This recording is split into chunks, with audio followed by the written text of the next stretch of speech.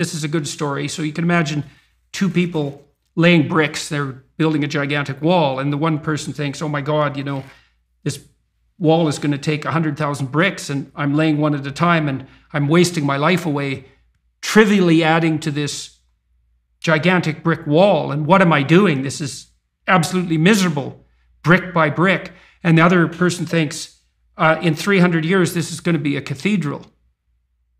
And so the person in the second state is doing exactly the same thing at a local level, laying bricks, but each brick is related to a very high goal. And that means the reward that's attendant upon the laying of the brick is proportional to the goal, to the what, what to the aim of the of the entire behavioral process.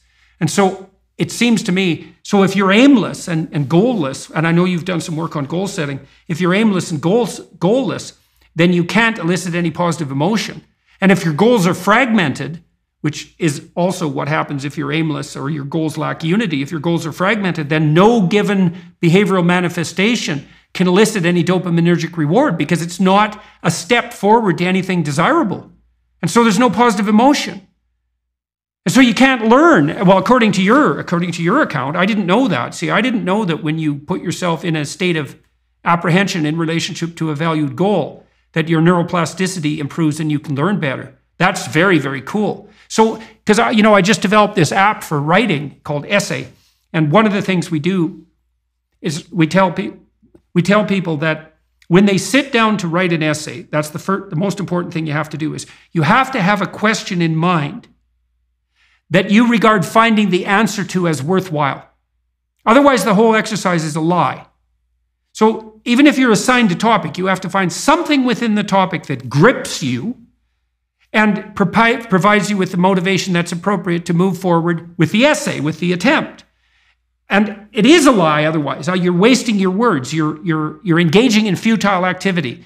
And you're going to write something dull and terrible, and it's going to frustrate you and bore you while you're doing it. And that's because your own nervous system is telling you that you're participating in something that you have no belief in.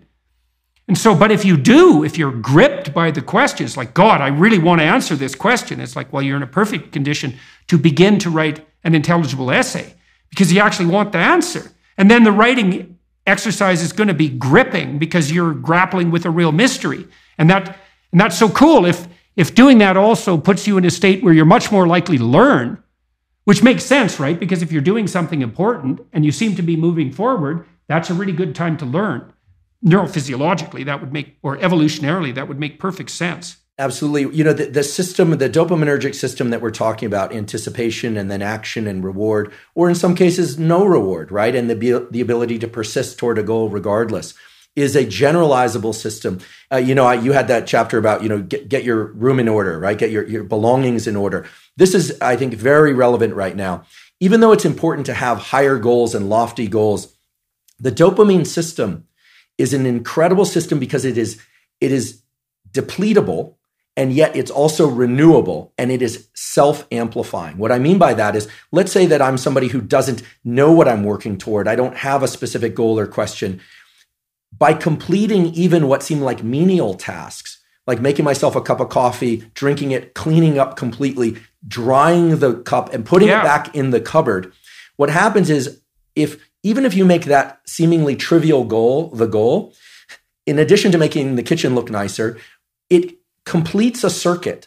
It closes the dopaminergic yes. circuit. And when dopamine is released, and it will be, maybe not to the same extent as publishing a novel, but to some extent, dopamine amplifies our ability to think into the future, to make additional yeah. plans that are unrelated to what you just did, and it in, literally increases confidence and energy. Why? Well, for the following reason. We all think about caloric energy, but what most people are never taught, you know, and if I had 10 things I could teach people, one of them would be adrenaline, epinephrine is neural energy. It's your ability to get up and go. It's the thing that makes you jittery when you're a little nervous, but it's also what allows you to move forward, to go out for a run, to pursue any goal, cognitive or physical, etc.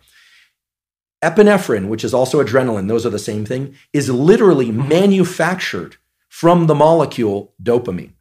If you look at the biochemical cascade, it is dopamine is converted into adrenaline, which is the basis of all energy, all neural energy. Right, right. And so, including thinking. And so, if one is not in a place of being able to uh, set their goal on a particular lofty goal, a graduate degree, a book, etc., yet the way one gets to that is by completing things Mm. in their immediate environment from start to finish and closing the dopaminergic loop. You literally, Yeah, well, those are at least those are at least micro narratives. that's right. Right. So they're not integrated across a long span of time, but they're not nothing. And so one of the things, well, I did write about this in my first book, particularly about putting your life, putting your house in perfect order. It's like, well, if you if you're lost, one of the things you can do is look around and see what direction you could take locally. Is fix something. And I used to tell my clients, this is a very good thing to know. Find something that you could do that would make things better that you would do.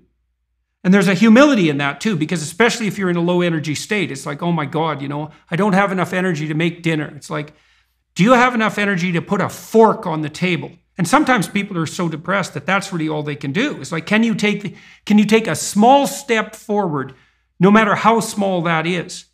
And so that's I didn't see. I knew that adrenaline was a byproduct or a, a, a, down the biochemical chain from dopamine, but I didn't get the significance of that fully. So basically, what you're saying is that if you implement a micro routine, even something like washing a cup and putting it back in the shelf, and you know that's a good thing because you have a shelf and there's cups on it, you've already decided that's an appropriate way to live is to have your coffee cups on a shelf.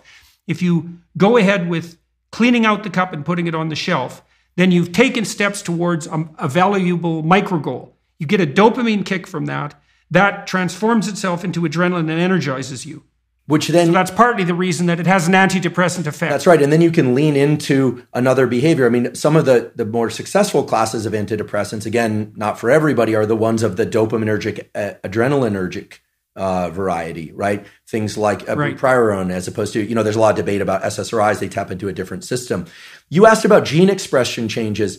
Um, th- there's neuroplasticity, which is on the short scale. Completion of an even trivial task like the putting away of the cup will give you more dopamine, which gives you more adrenaline, which in this analogy of either being back on one's heels, flat footed, or forward center of mass, regardless of where one is starting out, let's say depressed is back on one's heels, it's going to tilt you forward a little bit. And then it's a question of what you Yeah, little- of what you yeah, do with it. yeah. So the cognitive appraisal is critical because again, with the prefrontal cortex being so critical, in establishing which of these loops gets repeated, the cognitive appraisal is critical. I'm somebody who can get things done, even if they're small. Now, if you do the cognitive appraisal, I- or or you can you can take another cognitive appraisal there too, which is it's small things are not small.